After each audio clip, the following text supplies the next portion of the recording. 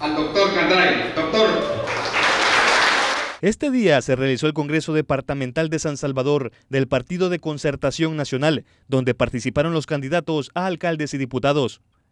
El candidato para la alcaldía de San Salvador Centro, Nicolás Pérez Cornejo, dijo que dentro del partido hay candidatos que darán la sorpresa para el 2024 y considera que los resultados de las encuestas que los dejan sin posibilidades y la opinión de analistas de que el PCN podría desaparecer no refleja en lo que la población en verdad quiere.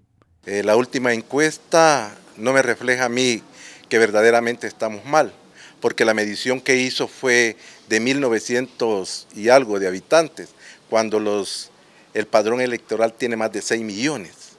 Por lo cual creemos de que estamos en las mismas condiciones que los demás partidos.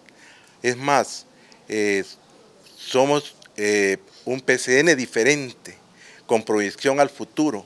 De igual forma, otros candidatos dicen estar confiados de que para los próximos comicios tendrán resultados que muchos no esperan. El territorio, la población piensa distinto, es de manera diferente, pues, porque la gente observó que el trabajo en estas administraciones no se llevó como tenía que ser. Entonces la gente está un poquito resentida y eso nos motiva a nosotros, ¿verdad? Y el que lleve las mejores propuestas y el que en realidad esté cerca de la gente, es el que va a tener la oportunidad de llegar a la alcaldía. No van a ser por partido, van a ser por persona realmente. Quien lleve las mejores, las mejores propuestas eh, va a tener el las posibilidades. Definitivamente, eh, pues las encuestas dirán una cosa, pero la población en el territorio dicen otras. El PCN también ha formado una alianza para los comicios del 2024. Juan Pablo Álvarez, miembro de Poder Ciudadano, dice que luego de que no se les permitiera competir en las elecciones como partido político, llegaron a un consenso donde decidieron apoyar al PCN.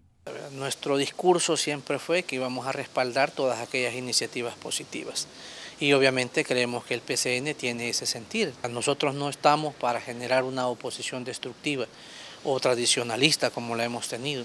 Nosotros somos más del concepto de una oposición que realmente debe ser constructiva y respaldar todas aquellas temáticas o políticas públicas que realmente sean en beneficio de la población, sea el gobierno ejecutivo de quien sea.